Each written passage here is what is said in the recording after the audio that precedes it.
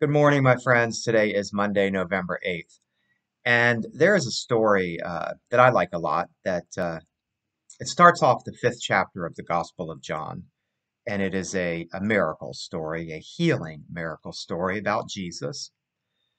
And he's walking through Jerusalem one day and he passes by a place called the Pool of Bethesda. And, and there's a lot of uh, people who uh, hang out by this pool, uh, people with um, illnesses, physical ailments, and uh, it's believed that it, every day the the waters in this pool begin to bubble and stir, and and if you are the first person to get down to that pool, then you would be healed of whatever condition it is that you are suffering from, and and it is believed to uh, happen this way because uh, an angel uh, comes down every day and stirs the water and put some holy healing powers into it and but they only last long enough for the first person.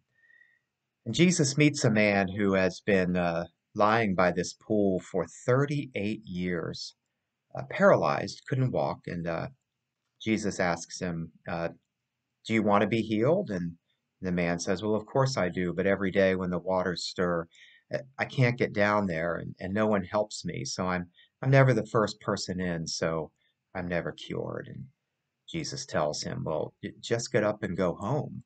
And the man gets up and goes home. And it's uh, it's quite an interesting story, uh, especially the ending, of course, the, the miracle that happens. Jesus just tells him to get up and walk, and the man does. It's, it's quite a miraculous ending.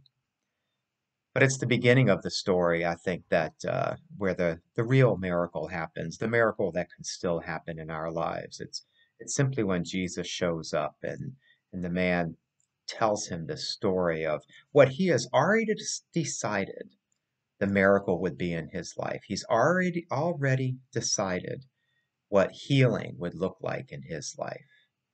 He's already decided that the only way he would be cured is he if he was the first person to get down to the pool in front of everybody else, but somebody else always gets ahead of him.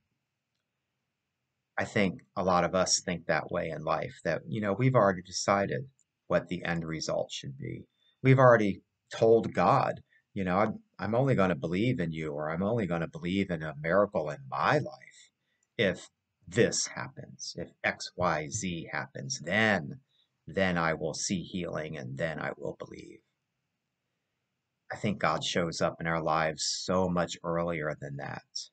Uh, Jesus comes to us and, and simply says, uh, you know, would you like to be healed?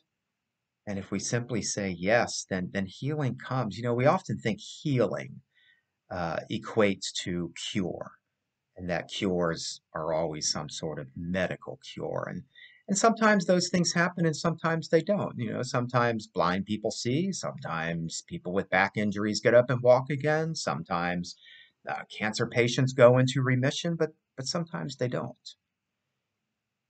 And have you ever noticed that we're always we always sort of marvel at the people who continue to suffer the way that that we define suffering, that somehow have this great internal uh, spiritual energy about them that that we just wonder why and how can they can they feel that way? And i think they've they've understood that uh, the the miracle of healing has already happened to them that they are now able to move through life a little differently.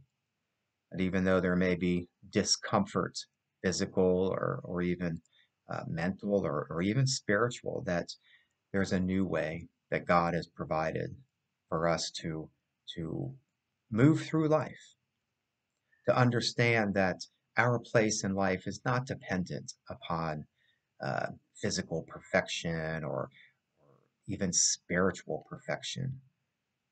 The healing that happens in our lives comes every day when we simply say yes to God. God bless you, my friends.